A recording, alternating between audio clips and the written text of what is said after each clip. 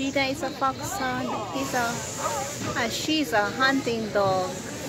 So it's a mix of uh, fox and hound. They're a type of hound, like Ah. a beagle or a basset. Oh, he's scared of the rain? She doesn't like the rain. Oh. She doesn't like the rain. She's scared of the rain? She's not afraid of it. She just doesn't like it. Oh, Gina, I like the rain. We take Gina home, Alice. Hi, Gina. Hi, come here, Gina. Gina is a foxhound. Really very rare. Oh, so cute. Yeah, She's waiting for some crumbs from the boy. She likes donuts.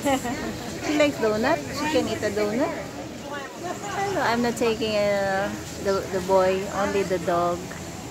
Ah, she. She, she has some kind of tricks. Does she do tricks? She will sit for food. You sit? Sit. Sit. Wow. Sit. Paw. Wow, so nice.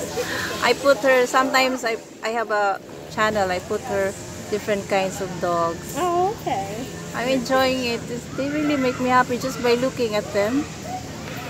Mama. Yeah, we gotta go, baby. You It's gotta go. rain. It's raining. We'll take your donut home. It's starting to rain. Yay!